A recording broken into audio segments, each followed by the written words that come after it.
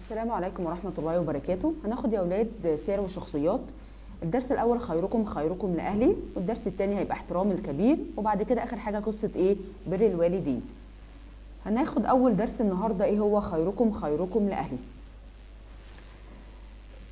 قال رسول الله صلى الله عليه وسلم خيركم خيركم لأهلي وأنا خيركم لأهلي.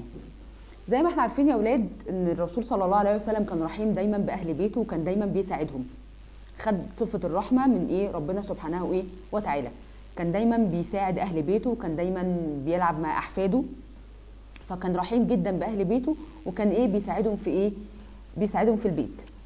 فكان الرسول صلى الله عليه وسلم يقوم على خدمة أهل بيته وكان رحيما ورفيقا بحفيديه الحسن والحسين. كان هو عنده حفيدين الحسن والحسين. كان دايما بيلعب معاهم وكان دايما رحيم بيهم إيه؟ جدا. ففي السلايد اللي بعديه هنا يا ولاد إيه بقى؟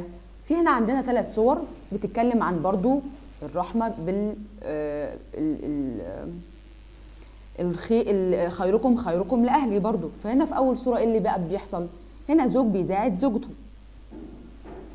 فطبعا برضو لازم الواحد يساعد أهل بيته. فهنا الزوج إيه؟ بيساعد زوجته. الصورة التانية إيه اللي فيها برضو؟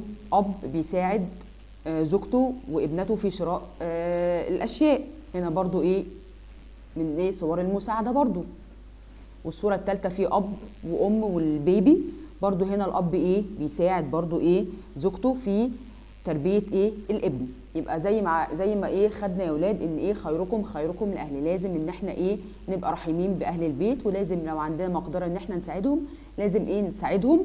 ونبقاش متضررين من المساعدة إيه؟ دي. قدوة بمين؟ قدوة بالرسول صلى الله عليه وسلم. إن الرسول عليه الصلاة والسلام كان دايما بإيه؟ كان رحيم بأهل بيته وكان بيساعدهم. وحتى ال- ال- الخدم بتاعه اللي كانوا موجودين معاه كان رحيم دايما إيه؟ بيهم جدا. دي كانت صفة إيه؟ عند الرسول عليه الصلاة والسلام. وكان برضو كان بإيه؟ رحيم برضو بأحفاده. الحسن والحسين كان برضو من موقف من المواقف. كان وهو بيصلي الرسول عليه الصلاة والسلام الحسن والحسين جلسوا على ظهره. فطبعا الرسول ولا تنفذ ولا أي حاجة وإيه وكمل الصلاة عادي وإيه وما زعلهمش ولا أي حاجة. كان إيه كان بيحب جدا إن إيه إن هو إيه يتعامل معاهم وكان رحيم إيه بيهم.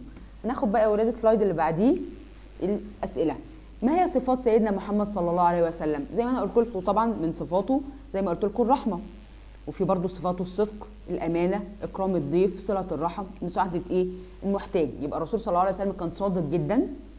طبعا ما كانش بيكذب. وأمين كان أي حد بيشيل عنده أمانة كان بي بيحافظ عليها ما بيتصرفش فيها خالص.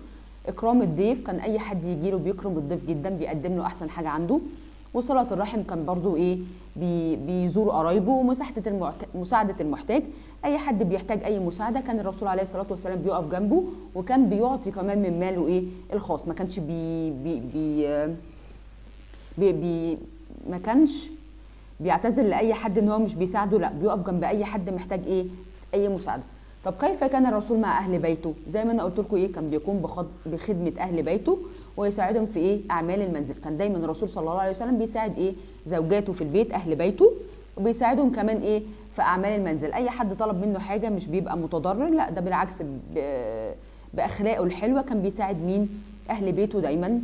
لو أي حد طلب منه إيه؟ أي مساعدة. وكده إيه الدرس يكون خلص يا ولاد.